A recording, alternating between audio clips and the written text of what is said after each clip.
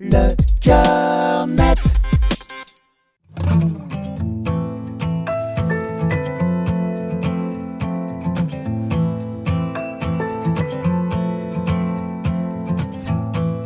On a tous euh, de l'empathie pour quelque chose, pour un sujet, pour une personne. Euh, les hypersensibles ont par contre une empathie plus développée, c'est-à-dire qu'elle va être plus intense, mais aussi elle va être euh, pour beaucoup plus de sujets, en fait. Si on va parler même d'hyper-empathie, c'est-à-dire qu'ils ont une empathie plus grande que la moyenne. Si moyenne, il y a bien sûr. Ça veut dire qu'ils vont ressentir les émotions d'autrui. Ça veut dire qu'aussi au niveau de leur neurone miroir, en fait, ils vont être vraiment. euh, moi, j'aime bien utiliser cette image d'antenne. Ils vont capter un petit peu les émotions des uns et des autres. C'est pour ça que souvent, eh bien, ils peuvent paraître trop sensibles, voire trop empathiques. En fait, ils sont pas trop. C'est juste par rapport à une norme donnée. On ne peut pas souffrir d'hyper-empathie en soi, sauf si, à un moment donné, on est fatigué et c'est comme si un petit peu toutes nos antennes, eh bien, elles vont euh, s'allumer et donc on est euh, dépassé par toutes les émotions. Et là, effectivement, il y a une sorte de souffrance. Et puis après, ça peut être l'histoire aussi de la personne qui, si moi j'ai vécu la même chose et que c'est pas encore, euh, j'ai pas encore fait le deuil de, ça, ben, ça peut être euh, hyper délicat. Moi, je trouve qu'on retrouve beaucoup d'hypersensibles et donc des personnes qui ont une empathie développée dans les milieux d'aide à la personne, que ça soit dans le médical comme dans le social, par exemple, ou la psychologie. C'est, je pense que euh, on a besoin aussi de faire de notre empathie quelque chose. Elle est présente, c'est un peu comme un don, donc on a besoin de l'utiliser finalement. Et c'est bien parce que bah, un hypersensible ou quelqu'un qui a beaucoup d'empathie a besoin d'être bien avec ses valeurs. À condition, encore une fois, en fait, d'être au clair avec ses émotions, avec ses propres besoins.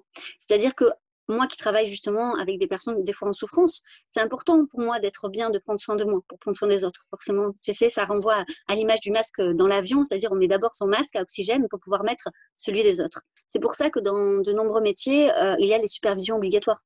Et ça fait du bien de relâcher, de prendre soin de soi, de dire aussi nos limites, et puis aussi de dire, ben, là, en fait, j'ai été en difficulté face à cette situation, pourquoi, à quoi ça me renvoie? À moi, et de dire, ben, peut-être que je suis pas la meilleure personne pour accompagner, passer le relais. Et pour ça, ça demande une vraie connaissance de soi-même. Souvent, les gens, ils ont peur de leurs émotions, ils se disent, non, mais si je relève le couvercle, ça va déborder. Oui, et alors en fait, ça déborde une fois et c'est terminé en fait. Et au contraire, ça libère le trop plein. Donc il faut vraiment en fait, euh, je pense aussi s'accepter, se dire mais je suis peut-être pas la personne que mes parents auraient aimé ou que la société aurait voulu. Enfin voilà, il y a plein d'étiquettes à enlever. Je pense que c'est faire aussi la paix avec notre passé. Moi, qui je suis, qui j'ai envie d'être? C'est plutôt une habitude euh, dans le langage courant de dire euh, ah je repasse ses émotions. Mais en fait derrière, qu'est-ce qu'on met dans notre tête quand on a dit ça?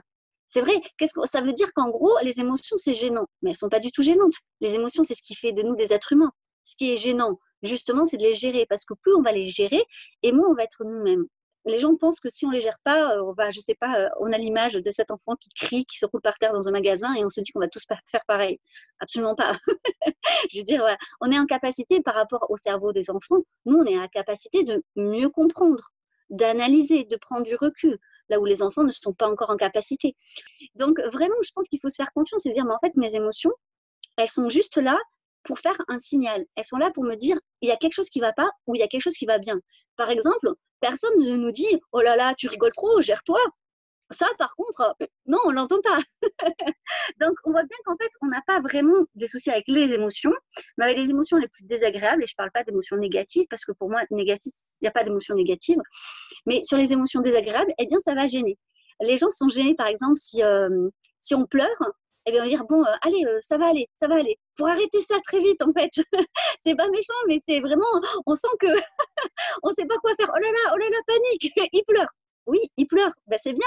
Ça veut dire qu'il libère le trop-plein, en fait. C'est plutôt bon signe. mais les gens sont tellement gênés que ben, on se dit, allez, allez, on gère tout ça, euh, on n'en peut plus, stop, stop. Sauf qu'en fait, l'hypersensible, il peut pas. Et du coup, il va en souffrir. Il va se dire qu'il a un problème. Il n'a pas un problème. Il vit ses émotions.